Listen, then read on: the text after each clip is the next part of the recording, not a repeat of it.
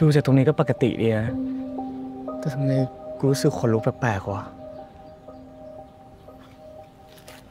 กันเธอแน่ใจใช่ไหมว่าเอกสารที่ถูกขโมยมาอยู่ที่นี่แน่ดิฉันก็ไม่แน่ใจร้อยเปอร์เซ็นต์หรอกค่ะ แต่ดิฉันมีเรื่องที่ยังไม่ได้บอกทุกคน ดิฉันมีคลิปวิดีโอ หน้ารถคุณโฮมวันที่เกิดอุบัติเหตุค่ะ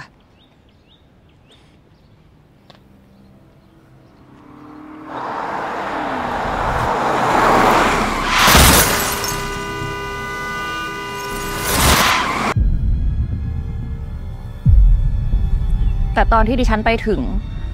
รถคันดังกล่าวก็ไม่อยู่แล้ว คุณโฮมพอจะรู้ใช่ไหมคะว่าเนี่ยรถของใครๆรถของป้าพร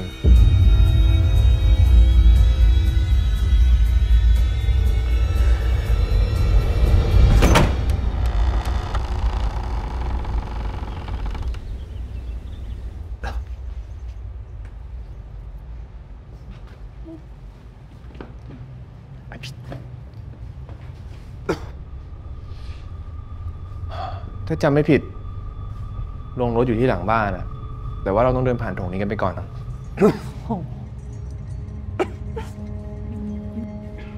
โอ้รสนิยมแปลกมาก สมก็เป็นตัวร้ายจริงๆอะ ดีนะที่เช็คแล้ววาวันนี้เนี่ยป้าพลอยไม่อยู่บ้านอะ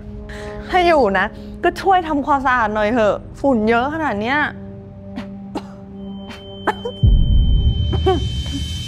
โอ๊ยโอ๊ยปวดหูอีกแล้วอะเฮ้ยอ้าวเฮ้ยเป็นไรอะเฮียมาช่วยดูพี่ฮอมหน่อยดิ เป็นไรไม่รู้อะเฮีย